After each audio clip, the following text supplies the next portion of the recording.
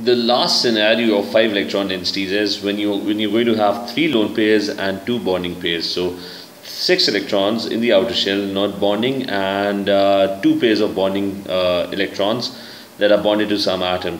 So again you have a total of five electron densities. The basic shape is going to be trigonal bipyramidal but um, firstly I'm going to uh, think of a molecule that has uh, three lone pairs and two bonding pairs of electrons and that molecule is uh, is I3 and has a charge of 1 minus. and what the basic shape is that uh, an iodine is bonded to uh, an iodine atom in the middle is bonded to two iodine atoms. So their bonds are complete. And this iodine over here has a total of uh, three lone pairs. It's basically gaining one electron which is why this entire ion has a minus one charge on it. So I'm going to figure out try and figure out what the shape is going to be. So I'm going to I'm going to take this triangular pyramidal shape and I'm going to change that.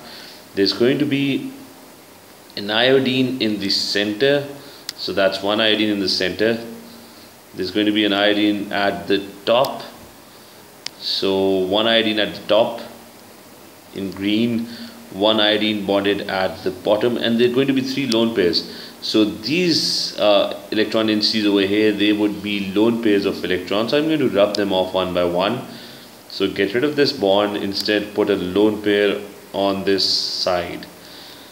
And get rid of this other electron density over here and put a lone pair on that side as well. So there goes another lone pair on that side. And remove this bond over here, this electron density over here and put a lone pair on that side as well. So the basic uh, shape was the same but since you have three electron densities uh, where nothing is bonded, they're lone pairs, there's nothing bonded or attached on this side so they would be they would not be counted in shape. So what the what the shape is going to become is you just have two iodines bonded and they're bonded in a straight line. So it's going to be a linear molecule. Uh, the three electron densities in the middle would try to keep uh, as far away from each other as possible, these lone pairs, but they're not going to affect the position of these bonds. So the shape of this molecule is going to be, it's going to be called, uh, it's going to be called linear and the angle would be 180 degrees. So you, you're going to have 180 degree bond angles in this molecule.